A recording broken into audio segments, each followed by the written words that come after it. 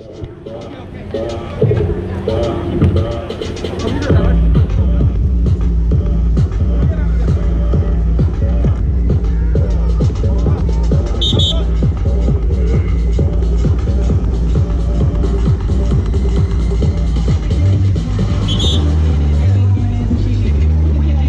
네, 코스는 아까와 또 다른 코스로 달려야 하기 때문에 지금 엔트리 넘버 1 박재홍 선수 A 코스로 변경했고요.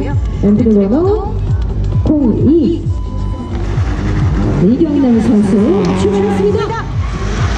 네, 이제 2차전이기 때문에 정말 이 best lap을 낼 수 있는 기회거든요.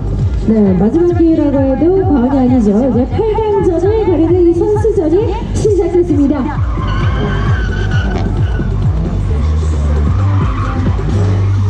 네, 확실히 박재현 선수 빠르게 코스를 진입하고 있고요.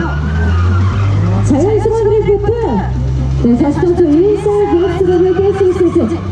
자, 그리고 아까 이경남 선수 같은 경우에는 코스 이탈이었거든요. 아, 안타깝게 마찬가지로 코스 이탈. 네, 박재